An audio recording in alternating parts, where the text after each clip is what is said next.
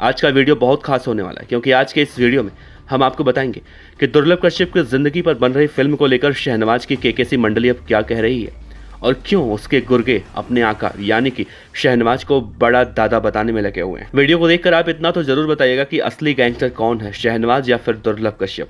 क्योंकि शहनवाज को अब असली डॉन कहा जा रहा है। वीडियो को शुरू करें, उससे पहले आपसे बता दें कि इस वीडियो को बनाने का मकसद किसी की भावना को आहत पहुंचाना नहीं है और ना ही किसी भी तरह के अपराध को बढ़ावा या समर्थन देना, बल्कि इस वीडियो को बनाने का मकसद समाज में फैले इन बदमाशों के बारे में लोगों को आगाह करना है। तो आइए इस वीडियो की शुरुआत करते हैं। तो जैसे कि आप सभी को पता है कि पंजाबी एक्टर जय रंधावा एक फ़िल्म लेकर आ रहे हैं, जिसका नाम है दुर्लभ कश्यप। ज़ाहिर सी बात है, फ़िल्म का नाम है दुर्लभ तो इसकी मेन कहानी दुर्लभ कश्यप के इर्द गिर्द ही होगी। और इसका हीरो भी दुर्लभ कश्यप ही होगा। लेकिन ये बात के के सी मंडली यानी कि दुर्लभ कश्यप के हत्यारों की गैंग को अच्छी नहीं लग रही और तभी तो इस फ़िल्म के पोस्टर को देखकर अपने आका, यानी कि शहनवाज को, असली डॉन बताने में लगे हुए हैं। अगर आप केकेसी के आका को नहीं जानते तो देखिए, यह है केकेसी मंडली का आका, जिसका नाम है शहनवाज।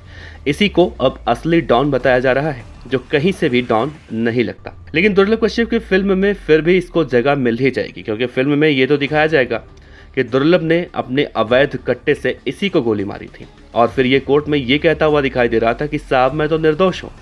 दुर्लभ कश्यप को मैंने नहीं मारा था, बल्कि मेरे भाइयों ने मारा था। मैं तो खुद दुर्लभ कश्यप की गोली खाकर ज़मीन पर पड़ा हुआ था। और वो गोली मेरे गले में आज भी फंसी हुई है, और तब जाकर इसकी जमानत हुई थी। खैर दोस्तों, एक बात तो साफ़ है कि दुर्लभ कश्यप की वजह से ही सहनवाज को लोग जानते हैं। हालाँकि बदमाश तो दोनों थे, लेकिन दोनों ही बदमाशों की कैटेगरी अलग अलग थी। एक को इस दुनिया से रुखसत हो जाने के बाद भी इतनी प्रसिद्धि मिली कि आज उसके ऊपर फ़िल्म बनाई जा रही है। और दूसरा अपने आप को ज़बरदस्ती का फर्जी डॉन बताने की होड़ में लगा हुआ। वैसे आप बताइए कि दुर्लभ कश्यप के ऊपर जो फ़िल्म बनाई जा रही है, वो फ़िल्म सही है या फिर शहनवाज के ऊपर फ़िल्म बननी चाहिए थी?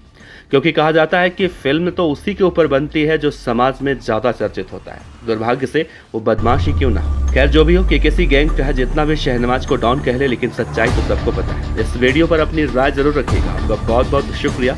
जय श्री